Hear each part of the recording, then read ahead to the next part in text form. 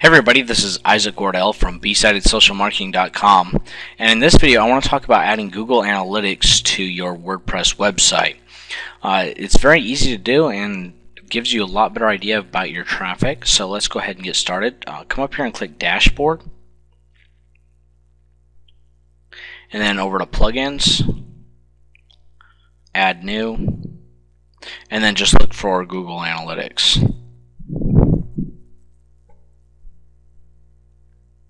Alright, as you can see, it pops up right away. Go ahead and click Install Now.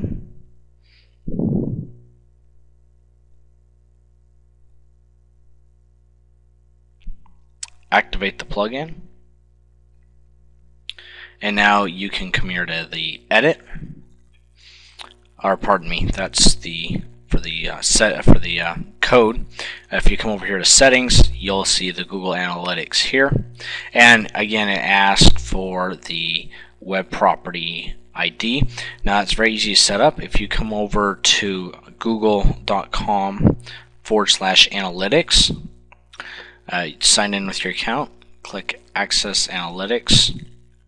And if you're not signed up, it'll ask you to sign up with your email address and you can click the sign up here. You got to put in the name of the website. Ask for your time zone. Put in your name.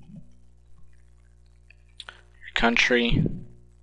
Agree to the terms and you'll create the account Alright, now they're going to ask for this number right here, this little UA number right here. You can just click the copy on that and come back to your web property ID, paste it in there, and click Save Changes.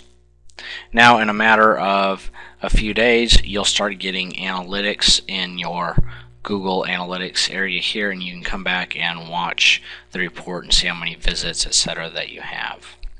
I hope this video is helpful to you. Hey, if you want more free how-to videos on different social media platforms, WordPress, and others, visit our YouTube channel at youtube.com forward slash besightedsm and uh, give us a subscribe there, and we'll let you know when we have new content available. Thanks for watching.